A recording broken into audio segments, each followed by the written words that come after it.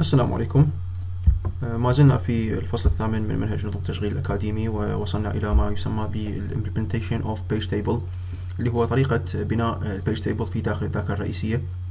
ذكرنا في المحاضرة السابقة أن هناك طريقة عدة طرق لبناء ال page table آه، ومن ضمنها آه، بعض الأحيان يتم ذلك من خلال استخدام ما يسمى بال page table base register وال page table length register واللي هي تماما مثل استخدام ال base register وال length register اللي تحدثنا عنها في بداية الفصل. الأول يحدد بداية ال page table عنوان البداية لهذا يعني موقع الذاكرة لل page table والثاني يحدد طول ال page table الموجود في الذاكرة. بهذه الطريقة طبعا راح يكون عندنا لكل بيانات أو إيعازات نريد الوصول لها في الذاكرة سيكون لدينا two memory accesses يعني الأول راح يكون لل page table لأنه نبحث عن هذه ال data أو ال instructions في داخل ال page table لكي نعرف ال frame المقابل لها. والوصول الثاني راح يكون إلى نفس هذه البيانات في الذاكرة الرئيسية. فبالتالي راح يصير عندنا يعني تأخير آه، بسبب استخدام ال page table. لأنه في كل مرة نبحث عن بيانات معينة أو إيعازات معينة أو كود معين نحتاج أنه نصل إلى الذاكرة الرئيسية مرتين. يعني المعالج أولا يذهب إلى ال page table الموجود في الذاكرة الرئيسية للبحث عن هذه البيانات ثم بعد ذلك بعد أن يحصل على عنوان ال frame الموجود أيضا في داخل الذاكرة الرئيسية يذهب مرة أخرى إلى الذاكرة الرئيسية لجلب هذا ال frame. لكي يبدأ العمل عليه وتنفيذه. فبالتالي مشكلة أنه نصل إلى الذاكرة مرتين. يمكن حلها باستخدام ما يسمى بال special fast lookup hardware اللي هو يعني بشكل مختصر هو ال cache. تماما نفس فكرة ال cache المستخدمة آه، ما بين المعالج وال RAM باستخدام cache يعني وسطي. هنا أيضا نستخدم نوع ثاني من ال cache يسمونه ال associative memory أو ال translation look-aside buffer TLB هذا ال TLB طبعا آه، يس يعني يستخدم في داخله ما يسمى بال address space identifier اللي هو معرفات حيز آه، معرفات حيز العنوان لكل واحدة من الحقول لهذا الجدول والتي تحدد بالضبط أي عملية تتبع لها هذه ال page وال frame الخاصة بها. آه، لأنه إذا ما استخدمناها لغرض ال protection طبعا need to flush at each uh, at every context switch. إذا لم نستخدم هذه ال ASID نحتاج أنه مع كل عملية context switch مع كل عملية إخراج ل process معينة آه، وإدخال process أخرى لغرض التنفيذ نحتاج أنه نعمل يعني مسح للذاكرة بصورة كاملة وإعادة تشغيلها مرة أخرى أو إعادة ملئها لأنه آه، بدون معرفة آه، اي أي page تتبع إلى أي process راح يعني يتم خلط هذه ال page ات مع بعضها البعض وبالتالي سيصبح من الصعب تمييز أنه أي بيانات تتبع إلى أي عملية.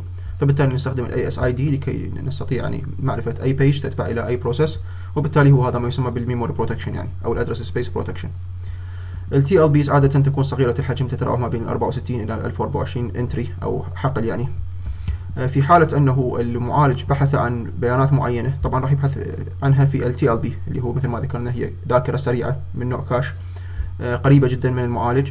آه، الوصول لها يستغرق وقت أقل بكثير من الوقت المستغرق للوصول إلى الذاكرة. في حالة ال hit يعني إذا وجد البيانات الذي يبحث عنها سيتم الوصول لها مباشرة. إذا في حالة ال miss إذا يعني بحث عن شيء معين ولم يجده في ال TLB فبالتالي طبعا هذه البيانات أو هذه القيمة سيتم تحميلها إلى ال TLB لكي نحصل على وصول أسرع في المره القادمه يعني نفس مفهوم ال cache بالضبط. إذا المعالج بحث عن بيانات معينة في داخل ال TLB وفي داخل ال cache إذا وجد هذه البيانات سيرجع إليه مباشرة. إذا لم يجدها سيذهب مباشرة إلى الذاكرة للحصول على هذه البيانات ولكنه سيترك نسخة من هذه البيانات في داخل ال TLB لكي يسرع الوصول لها في المرة القادمة. أيضا replacement policies must be considered. يعني آه، خوارزميات أو تقنيات استبدال ال pages وال frames في داخل ال TLB يمكن أو يجب أن يتم استخدامها وإن شاء الله راح نشرحها فيما بعد. Uh, some entries can be wired down for permanent fast access. بعض الحقول في داخل ال TLB يمكن أنه نقوم ب يعني لحامها بشكل يعني wired down يعني يتم ربطها مباشرة عن طريق ال hardware لكي نحصل على وصول سريع ودائمي لبعض الحقول.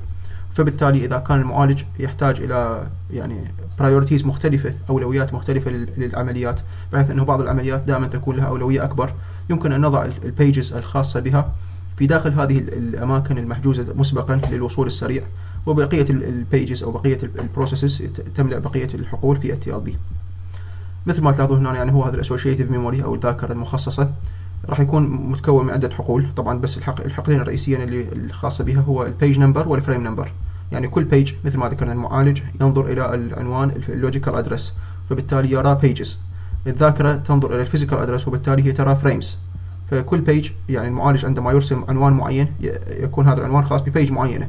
ولكنه هذه ال page هي طبعا بالحقيقة تتحول إلى شيء اسمه frame مثل من خلال مثل ما ذكرنا سابقا ال memory management unit يتحول إلى frame اللي هو هذا العنوان الحقيقي ال physical address لهذه البيانات الموجودة في الذاكرة والذي تراه الذاكرة الرئيسية.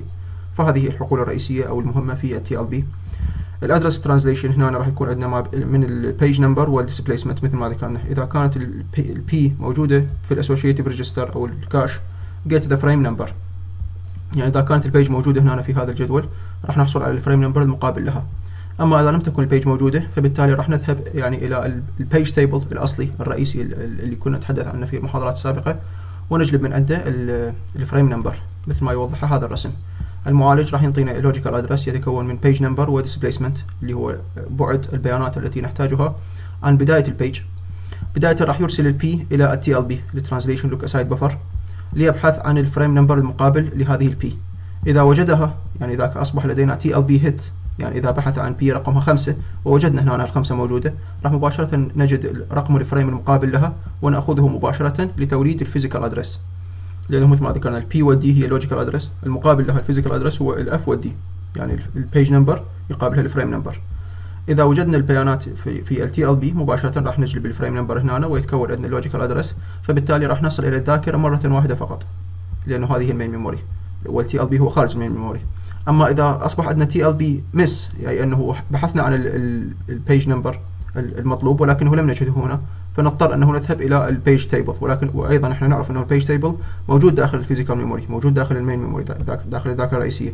فبالتالي رجعنا إلى المشكلة الأصلية اللي كنا نواجهها إنه إحنا راح نصل إلى الذاكرة مرتين. مره لكي نجلب ال frame number ونأخذه وحصلنا على ال physical address والمرة الأخرى نصل إلى البيانات الحقيقية التي نبحث عنها أصلا. فبالتالي هنا نلاحظ بأنه آه، يعني آه، في حالة ال TLB hit قمنا بتسريع العمل لأنه وصلنا إلى الذاكرة مرة واحدة فقط. في حالة ال TLB miss يعني أصبح لدينا نفس المشكلة الأصلية اللي هي الوصول مرتين إلى الذاكرة. إضافة إلى ذلك الوقت المستغرق للبحث داخل ال TLB والذي هو يكون عادة يعني قصير جدا. هنا طبعا عندنا آه، كيفية حساب ال effective access time اللي هو وقت الوصول الفعال أو الحقيقي عند استخدام ال TLB إذا افترضنا بأنه ال associative lookup is epsilon time time unit يعني هذا مقدار صغير جدا هو يعني الزمن المستغرق للبحث في داخل ال TLB هذا عادة يكون أصغر يعني من 10% من زمن الوصول إلى الذاكرة. يعني هنا عادة زمن البحث هنا زمن الوصول يعني إرسال ال P والحصول على ال F عادة يكون يعني أقل من 10% من الزمن المستغرق للوصول إلى ال page table اللي موجود في الذاكرة الرئيسية. هنا طبعا راح تكون عندنا يعني مثل ال cache أكو hit ratio واكو miss ratio نسبة ال hit يعني نسبة إيجاد البيانات أو معدل إيجاد البيانات التي نبحث عنها في داخل ال TLB هو ألفا. وليكن مثلا هذا كمقدار معين. طبعا هو هذا راح يمثل لنا النسبة المئوية للمرات التي نجد فيها ال page number في داخل ال associative registers أو ال associative look aside buffer أو ال TLB طبعا هذه النسبة تتناسب يعني هذه النسبة لها علاقة بعدد ال associative registers إذا كان ال TLB كبير طبعا راح تكون نسبة أكبر. إذا كانت ال TLB صغير جدا راح تكون نسبة أقل. لنفترض مثلا إذا إذا كان عندنا نسبة أو احتمالية إيجاد البيانات التي نبحث عنها في داخل ال TLB هي 80% وزمن الوصول إلى ال TLB هو 20 nanosecond بالنسبة لل TLB في حين أن زمن الوصول إلى الذاكرة الرئيسية هو 100 nanosecond لاحظ هنا 20 وهنا 100 هنا على مود نحسب ال effective access time اللي هو ال EAT راح يكون عندنا 1 زائد ابسلون في الالفا زائد 2 زائد آه، زائد ابسلون في الواحد ناقص ألفا. أي أنه عندنا وصول ذاكرة واحد فقط في حالة ال hit وعندنا وصولين إلى الذاكرة في حالة ال miss فال hit هو alpha وال miss هو الواحد ناقص ألفا. يعني كنسبة مئوية. فراح يطلع عندنا النتيجة النهائية هو 2 زائد ابسلون ناقص ألفا. إذا إذا أخذنا أرقام يعني حقيقية آه، أيضا إذا افترضنا بأنه الألفا هي 80% الابسلون 20 لل TLB وال 100 nanosecond بالنسبة لل access memory access. فراح يكون عندنا ال effective access time هو 80% راح نستغرق فقط مرة واحدة راح نصل مرة واحدة إلى الذاكرة اللي هي هذه المرة. زائدا 20% راح نصل إلى الذاكرة مرتين. أي أنه إذا وجدنا البيانات التي نبحث عنها موجودة في داخل ال TLB راح نصل إلى الذاكرة الرئيسية مرة واحدة فقط فراح تكون عندنا 80% في 100 زائدا 20% المتبقية راح تكون مضروبة في 100 لأنه هي راح نصل إلى الذاكرة الرئيسية مرتين. فراح يطلع عندنا المعدل النهائي هو 120 nanosecond هذا هو أفضل بكثير من المعدل اللي هو راح يكون 200 nanosecond إذا استخدمنا فقط الذاكرة الرئيسية إذا استخدمنا فقط ال page table فنلاحظ بأنه استخدام ال TLB قلل لنا المعدل من 200 إلى 120 أما إذا أخذنا more realistic hit ratio يعني آه، في الحقيقة هي ال hit ratio أو معدل إيجاد البيانات في داخل ال TLB هو أكثر بكثير من 80% قد يصل إلى 99% يعني 99% من المرات التي يطلب فيها المعالج بيانات معينة آه، من ال page table سيجدها في داخل ال TLB قبل أن يصل إلى ال page table فبالتالي هنا اذا صارت عندنا هذه نسبة كبيرة جدا 99% أيضا راح تكون عندنا 99% راح نصل إلى الذاكرة مرة واحدة. زائدا 1% فقط راح نصل إلى الذاكرة مرتين. فبالتالي يطلع عندنا المعدل النهائي للزمن الم... يعني الذي سيستغرقه المعالج للوصول إلى البيانات هو واحد ب... 101 nanosecond فهو قريب جدا كأنه هو يعني شبه آه، أو مقارب تماما آه، إلى ال 100 nanosecond اللي هي فقط للوصول إلى الذاكرة مرة واحدة. فلاحظ بأنه استخدام ال TLB قلل لنا الزمن المستغرق للوصول إلى الذاكرة أو لجلب البيانات من 200 في المعدل الطبيعي لأنه إحنا دائما نصل 100 إلى ال page table ثم ال 100 الأخرى للوصول إلى البيانات نفسها. إلى 101 nanosecond اللي هي يعني تقريبا النصف فبالتالي استخدام ال TLB يعني واضح الفائدة المرجوة من عنده. آه، بالنسبة لل memory protection أيضا مثل ما ذكرنا عدة مرات في هذا الفصل. آه، مهم جدا هو عزل البيانات الخاصة بكل واحدة من ال processes عن البيانات الخاصة بال processes الأخرى. هنا ال memory protection عندنا الذي يتم استخدامه في داخل تقنية ال page ال paging اللي هي يعني أحد تقنيات ال memory management يتم استخدام ال associated protection bit يعني هناك فد bit آه، للحماية موجود في داخل كل واحد من الحقول في داخل ال page الذي يحدد في أما إذا كان هذا الحقل أو هذه ال page أو هذا ال frame هو read only أو read write access. هل هو للقراءة فقط أو هو ممكن للقراءة والكتابة. ويمكن أن يكون هذا أيضا فقط execute only أو غيرها يعني. يعني read only read write execute only. هذه هي طبعا ال bitات التي تحدد. آه، ما هو الشيء الذي يمكن عمله يعني بهذا ال page أو الخاص ل process معينة. التقنية الأخرى لل memory protection اللي مستخدمة هنا هي ال valid و invalid bit أيضا هذا عبارة عن bit واحد هو أما صفر أو واحد يتم إرفاقه بكل واحد من حقول ال page table يعني هي أما هذه الطريقة أو هذه الطريقة أو هذه الطريقة يعني هناك ثلاث طرق. أما نستخدم طريقة ال associative bit protection bit أو نستخدم طريقة ال valid invalid bit لكل حقل من حقول ال page table بحيث أنه إذا كان valid هذا يدل على أنه ال page مخصصة للعملية الحالية وموجودة ضمن ال logical address space الخاص بها وبالتالي فهي legal page يعني page قانونية يمكن التعامل معها. أما إذا إذا كانت invalid فهذا يدل على أنه ال page هي ليست ضمن الحيز المنطقي للعناوين الخاصة بهذه العملية فبالتالي لا يمكن استخدامها. أيضا يمكن استخدام ال page table length register اللي تحدثنا عنه سابقا بأنه كل عنوان يجينا من ال CPU نختبره هل هو ضمن ال logical address space الخاص بهذه العملية أو لا. إذا كان ضمن ال logical address space نستطيع الوصول له. أما إذا لم يكن كذلك فراح يكون عندنا error أو addressing trap أو غيرها مثل ما يعني شرحنا في المحاضرات السابقة. Uh, any violations result in a trap to the kernel. يعني أي خرق لهذه القواعد اللي تحدثنا عنها راح يؤدي إلى trap to the kernel اللي هو راح يكون عندنا فد error أو interrupt راح يقاطع عمل المعالج ويوقفه لأنه آه، راح يخبر المعالج أو راح يعطي فد رسالة للمستخدم بأنه أنت تحاول الوصول إلى بيانات هي موجودة خارج نطاق ال address space الخاص بالعملية الحالية التي أنت تعمل عليها يعني.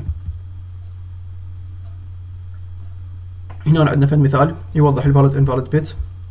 يعني إذا كان عندنا هذا هو هذه هي ال process address space الخاص بها وهذا ال logical address يعني page 0 page 1 إلى ال page 5 وكان عندنا هذا ال page table بحيث أنه كل واحدة من ال page numbers أكو محدد لها valid و invalid bit. فهنا راح شلون نقدر نقرأ هذا؟ طبعا هذه الذاكرة الرئيسية راح يكون شكلها. راح نقول بأنه ال page 0 موجودة في داخل ال frame الثاني وهي valid أي أنه هي تابعة للحيز العنوان الخاص بالعملية الحالية. فلاحظ بأنه ال page zero موجودة في ال frame رقم اثنين. هذا ال frame رقم اثنين موجود في داخل ال page zero وهي valid يعني أي أنها تابعة لهذه العملية. ال page واحد موجودة في داخل ال frame ثلاثة. ال page واحد موجودة في داخل ال frame ثلاثة وهي valid أيضا. ال page الثانية الثالثة الرابعة الخامسة لاحظ بأنه ال page السادسة والسابعة هي invalid وبالتالي هنا ما نلاحظ أنه وجود أي page سادس page 6 and page 7 غير موجودة في داخل الحيز العنوان المنطقي لهذه العملية. ربما يكون ال page table الخاص بعملية أخرى يحتوي على ال page 6 و page 7 وممكن تكون في يعني تكون موجودة في مكان آخر. ولكنه ليست موجودة في داخل ال page table الخاص بهذه العملية لأنه مثل ما ذكرنا كل عملية سيكون لها page table خاص بها يعني مستقل عن العمليات الأخرى. هنا أيضا راح تكون عندنا فد مفهوم اللي هو ال shared pages اللي هو الصفحات المشتركة. هذه ال pages اللي هي مثل مثل ما ذكرنا يعني قطعة من الذاكرة ممكن تكون مشتركة ما بين العمليات وممكن تكون مستقلة. إذا كانت لدينا page مشتركة اللي هي shared code وعاده تكون هي جزء الكود يعني هو كل برنامج يتكون من code و data. الكود ممكن يكون مشترك بين عدة عمليات. إذا يعني مثلا إذا كنا فاتحين ملف وورد أو ثلاث ملفات وورد الكود اللي مكتوب به يعني برنامج الوورد أو المايكروسوفت وورد هذا قد يكون هو shared code يعني ما بين كل هذه العمليات. لأن كل واحدة من هذين الصفحات اللي إحنا فاتحينها الوورد هي تعتبر عملية process ولكنه ال data الخاصة بكل واحدة من هذين راح تكون هي private يعني مستقلة ومنفصلة فراح تكون عندنا نسخة واحدة من ال read only code لأنه طبعا عادة الكود يكون عادة read only في أغلب الأحيان إلا إذا كان هو open source فالكود راح يكون هو read only نسخة واحدة من عنده راح يتم تحميلها إلى الذاكرة. قد تكون مشتركة بين عدة عمليات. مثل مثل ما ذكرنا ال text editors اللي هو محررات النصوص قد يكون هو الوورد أو النوت باد أو الوورد باد أو غيرها. ال compilers ال window systems وغيرها من الأنظمة الأخرى أو البرامج الأخرى. فهناك نسخة واحدة من هذا الكود راح تكون مشتركة بين عدة عمليات. مشابه هذا المفهوم تماما إلى ال multiple threads المشتركة بين يعني في in the same process space. هذا طبعا تحدثنا عنه في الفصل الرابع اللي هو كان يتخص يعني يتحدث عن ال threads وأيضا ذكرنا بأنه ممكن أن يكون هناك multiple threads موجودة في داخل ال process الواحدة. أيضا راح يكون بها shared code والبيانات راح تكون مختلفة لكل واحدة من هذه ال threads also useful for inter-process communications أيضا يعني هذا وجود نسخة واحدة من الكود مشتركة بين عدة عمليات أو عدة threads راح يكون مفيد لعمليات الاتصالات بين العمليات يعني أو بين ال threads المختلفة. إذا كان هناك طبعا مشتركة read write pages ممكن أنه القراءة والكتابة ما بين هذه ال pageات أما إذا كانت النوع الآخر اللي هو ال private code and data يعني راح تكون عندنا كود من يعني خاص و data خاصة أيضا. كل عملية راح تكون لها نسخة منفصلة من البيانات والكود الخاص بها.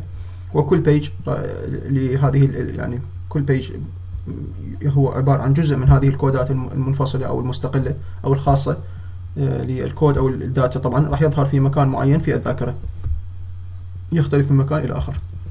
هذا فد مثال على ال shared codes أو shared pages إذا كانت عندنا ال process 1 وال process 2 وال process 3 متشاركة فيما بينها في ال 3 pages اللي هو ال ED1 ED2 ED3 هنا أيضا لاحظ ED1 ED2 ED3 ونفس الشيء ED1 ED2 هذا ED3 لاحظ أنه لأنه هي مشتركة موجودة كلهن في نفس المكان في الذاكرة يعني 3 4 6 3 4 6 وهنا 3 4 6 فنلاحظ بأنه هذه ال pageات اللي هي موجودة أيضا ب 3 و4 و6 ED1 و ED2 و ED3 هذه هي الذاكرة الرئيسية هذه هي ال page tables طبعا الخاصة بكل واحدة منهن وهذه هي ال processes أما بالنسبة لل data 1 و data 2 و data 3 هذه لأنه هي private يعني مستقلة. فكل واحدة منهم تظهر في مكان مختلف في الذاكرة. فال data 1 موجودة في ال frame 1 نجي لل frame 1 نلقى موجود داخل ال data 1 بالنسبة لل data 2 موجودة داخل ال frame 7 أيضا نجي لل frame 7 نجد في داخله ال data 2 وأخيرا بالنسبة لل data 3 موجودة في ال frame 2 أيضا نجي إلى ال frame 2 نجد في داخله ال data 3 فنلاحظ بأنه ال codeات المشتركة موجودة لكل العمليات في نفس المكان ولكنه البيانات المنفصلة أو المستقلة لكل واحدة من راح تظهر في مكان مختلف في الذاكرة الرئيسية. الأمر الآخر اللي يعني مهم جدا معرفته عن ال paging هو ال structure of the page table يعني كيفية بناء ال page table لحد الآن إحنا عرفنا بأنه ال page table ممكن أن يكون هو عبارة عن جدول يتكون من ال valid invalid bits وال associative bits وال frame number والمقابل لها ال page number وغيرها من الأمور الأخرى. إلا أنه يعني الهيكل الذاكرة لل page number أو ال page table قد يأخذ حجم كبير جدا إذا استخدمنا الطرق التقليدية اللي هي straight forward methods الطرق التلقائية أو التقليدية.